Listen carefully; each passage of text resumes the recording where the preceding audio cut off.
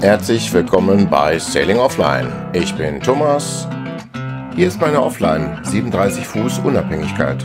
2020 bin ich an Krebs erkrankt. Wahrscheinlich konnte ich den Krebs diesmal besiegen, aber mir ist klar geworden, das Hamsterrad sieht nur von innen aus wie eine Karriereleiter.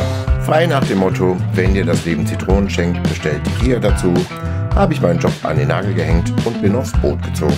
Das Ziel der Reise ist aber kein Ort, sondern ein Zustand. Komm an Bord und begleite mich auf meiner Reise.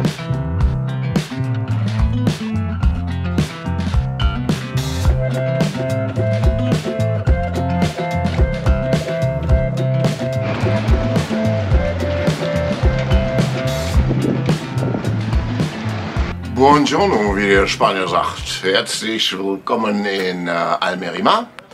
Kleines Delay, hier wollte ich immer schon hin, allerdings eigentlich vor zwei Jahren, aber als ich 22 losgefahren bin, ist ja meine Biscaya-Überquerung gescheitert, mangels Crew. Also ich wollte den Trip nicht alleine machen, drei Tage lang. Und hatte mir ja Freunde an Bord geholt, die dann aber leider an der Corona erkrankt sind und dann ist das schief gelaufen. Naja, der Rest war eine Odyssee gewesen. Erster Winter A Coruña, zweiter Winter La Linea Gibraltar. Aber jetzt bin ich endlich in Almerimar. Und das ist wirklich ein besonderer Ort, weil in Almerimar leben ganz viele Langfahrtsegler, Blauwassersegler an Bord. Überwintern hier zumindest, manche bleiben auch das ganze Jahr hier, haben hier einen festen Liegeplatz. Almerimar ist halt wirklich ein Ort, hier geht es wirklich um Segeln. Also du hast hier alle Gewerke, du hast hier eine Segelmacherei, du hast hier Mechanikos, du hast eine große Werft, Krananlagen. Immer wenn irgendwas am Boot sein sollte, bist du hier gut aufgehoben. Es gibt hier eine sehr lebendige Segler-Community. Also es war, ich keine Ahnung, ich habe das Boot noch nicht mal richtig festgebunden gehabt. Da standen schon die ersten drei deutschen Segler neben der Offi am Steg und begrüßten uns. Ich dann erfahren habe, gibt es mittwochs den deutschen Seglerstammtisch. Da ging es dann in das Restaurant Algab. Und da haben wir uns dann mit ganz vielen deutschen Seglern getroffen und einen Abend gemacht. Und was dann noch dazu kommt, Almerima ist günstig. Also ich zahle hier aktuell pro Nacht 11 Euro, also 10,75 Euro glaube ich, netto, plus Mehrwertsteuer habe ich bei immer noch 13 Euro. Wenn ich einen Monat Liegeplatz kriege, nehme, dann bekomme ich auf die 13 Euro dann sogar noch 5% Nachlass. Also hier kann man wirklich auch mal ganz günstig im Monat leben.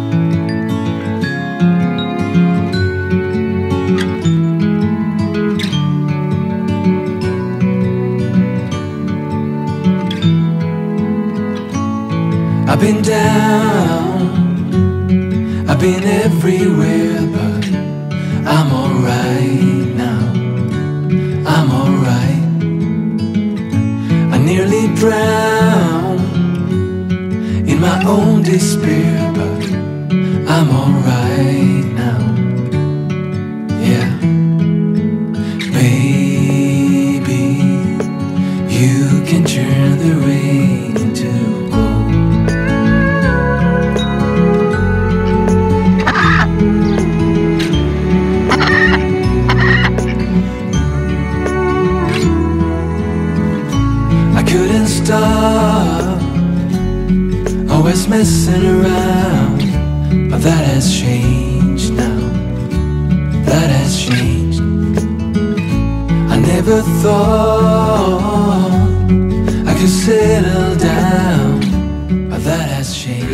in Almerima fünf Tage eingeweht gewesen.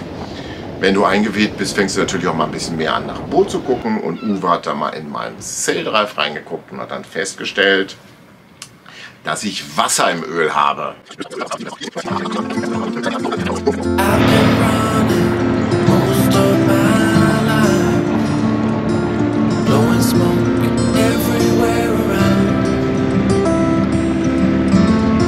Searching. Echt schönes Licht hier, ne? Lohnt sich ja dieses frühe Aufstehen. Da lohnt es. Oh, Dienstagmorgen 7 Uhr, früh aufstehen, I like. Ja, wir müssen in die Kranbox, weil heute kommt die Offi aus dem Wasser für Reparaturen. Das erste Mal seit Wochen aufstehen mit Wecker. Boah, da stehe ich drauf, Ruhe. Ist auch genau dein Ding, oder? du siehst aus wie das blühende Leben. Ich habe mich dran gewöhnt, hier mindestens bis 10 Uhr in der gucken. Ja, kenne ich. Ja. Ja. aber was soll man noch anderes machen? Ja. Es sei denn, man muss pipi, da muss man mal ganz kurz hoch. Da könnte ne? man mal kurz sich bewegen.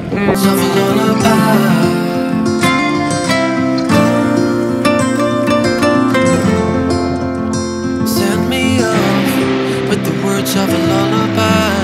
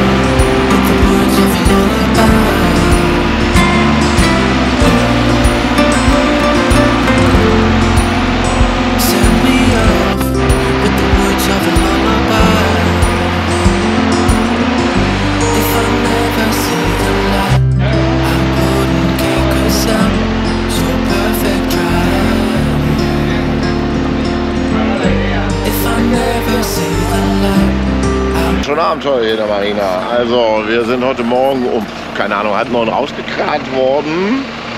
Was ich gar nicht kannte. Ich kenne das nur, dass das Boot in dem Kran abgespritzt wird, wenn es in den Gurten hängt. Hier in Spanien haben sie es jetzt erstmal wohin gestellt. Dann ist drei Stunden gar nichts passiert. Exakt zum gleichen Zeitpunkt kam dann der Mann, der das Boot reinigt. Gleichzeitig kommt hinter mir der Kran an, um den Mast zu legen. Und Rafa, der Mechaniker, der den Sail Drive in Ordnung bringen will, ist auch gleichzeitig gekommen. Ich weiß nicht, ob die sich hier intern geheimnisvoll absprechen. Keine Ahnung, ey. Lass uns mal überraschen.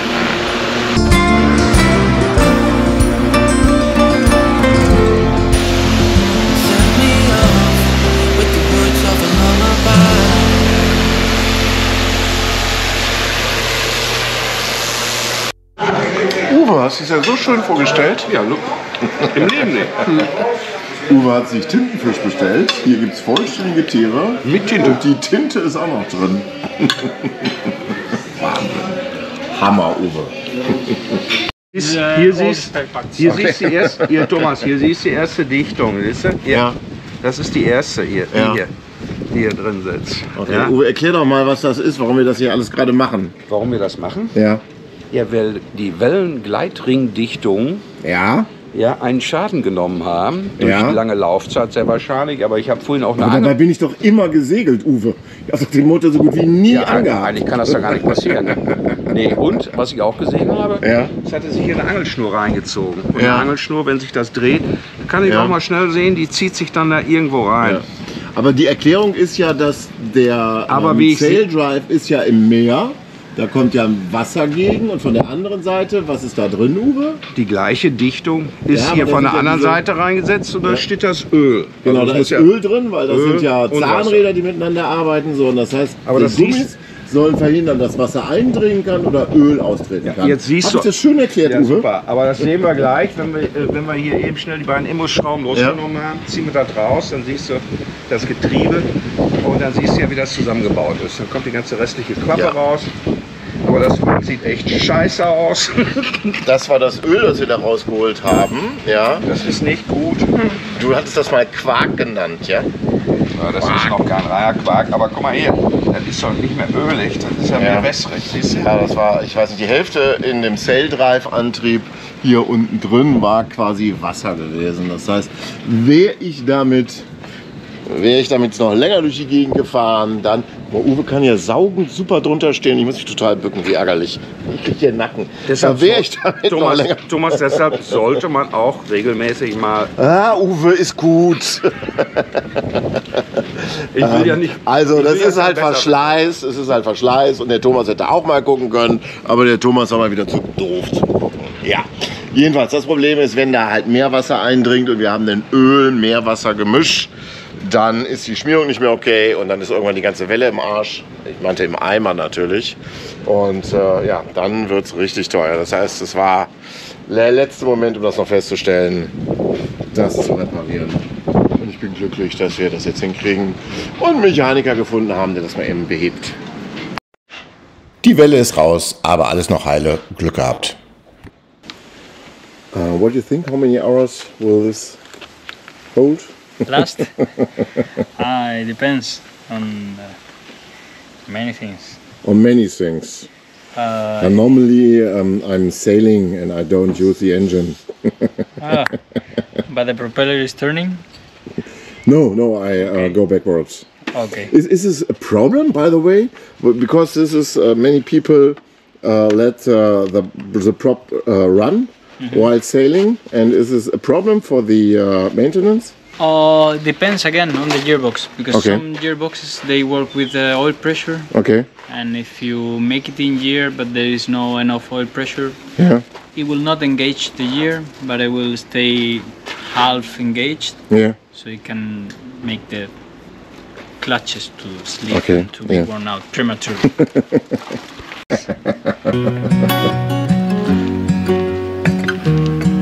Hoffentlich passt das noch. I hope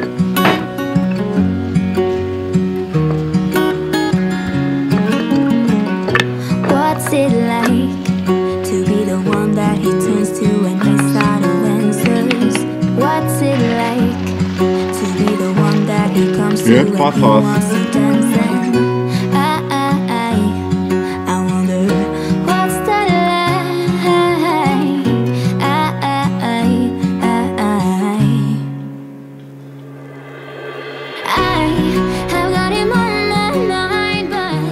Oh, der ganze Scheiß sowieso zu teuer ist, habe ich mir gedacht. Da mache ich jetzt auch direkt mal neue Opfernoten rein.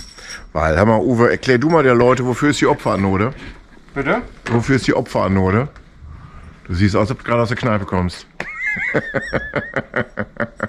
Das ist der Sail Drive. Äh, Die Opferanode opfert sich im Seewasser. Ja, Weil, äh, ist, ist das Korrosion oder ist das ein anderer Vorgang? Sail Drives, dass der hier unten nicht weggammelt. Also wir rotten die Opferanode weg, dafür bleibt der Sail Drive ganz, ja? Ähm, ist das denn Korrosion oder was ist das für ein Prozess? klar. also Korrosion. Ja, eine Korrosion. So, also Opferanode. Besser Opferanode als nur der Sail Drive. Ich glaube, die Opferanode kostet 60 Euro, der Sail Drive 3000 Euro. Dann lieber die Opferanode. Uh. So Rava explained me that his job is the same like a doctor. Only difference is he had to wash his hands after the work. the doctor hopefully before work. Ja, Hopefully after also. hopefully. Before we get to the next per- patient. ja, erstmal Finger im Po in Mexiko und dann den nächsten Patienten mal schön die Hand schütteln. Ne, Uwe? ja. Aber das sieht er schon äh, wieder mit der neuen Opfernode, Zinkernode. Ne? Ja.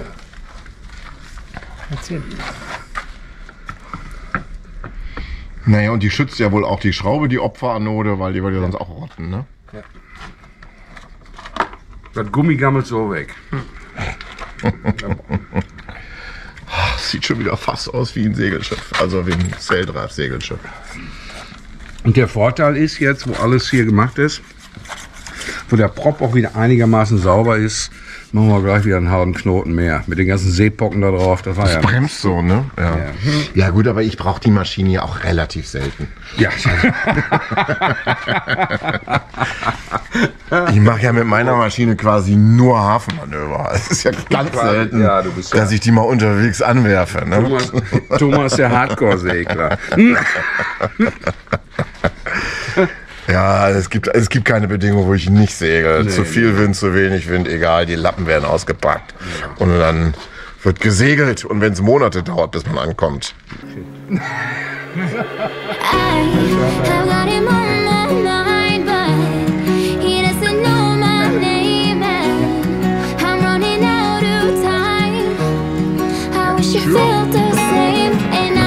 Tell me day. Don't I'll send you an email. I should You got an email by my lawyer. Wer anderen so hart beim Arbeiten zusieht, hatte ich jetzt auch mal ein Bier verdient.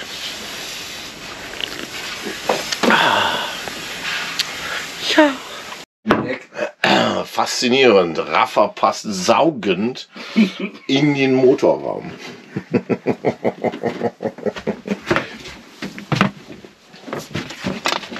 This is a doctor's work? Yeah. Sometimes it is. It's for gynecologs. What is gynecologue auf English? Uh, I wish it was.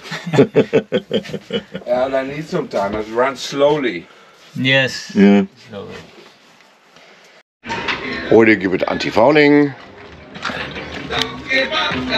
Baustelle ist eingerichtet mit Musik. Und da steht die Die Hände Offi. sind auch schon schwarz. Da steht die Offi und wartet, dass sie wieder hübsch gemacht wird. Und Uwe ist auch schon im Arbeitsmodus und klebt die Manschette vom Sail Drive an. Ich gucke jetzt mal. Ich höre jetzt noch eine Runde Bob Marley.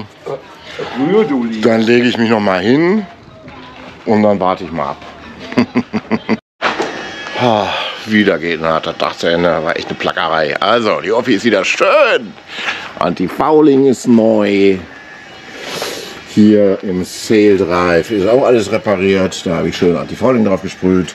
Niegelnagelneue Opfernoten. Ja. Geil. So sieht sie aus, unsere Offi.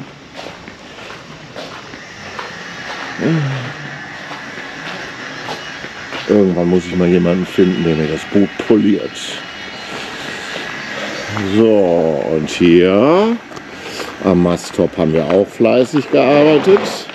Wir hatten schlechten Funkempfang. Dann haben wir eine neue Antenne drauf gesetzt. Das Toplicht war im Eimer gewesen. Der Radarreflektor ist neu. Und den Windex, die Windfahne, haben wir auch neu eingebaut. Ja.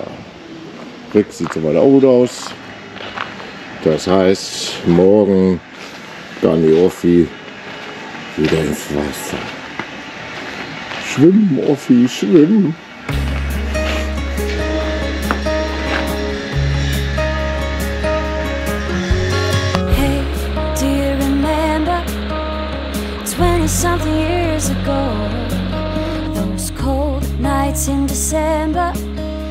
Sound of the falling snow.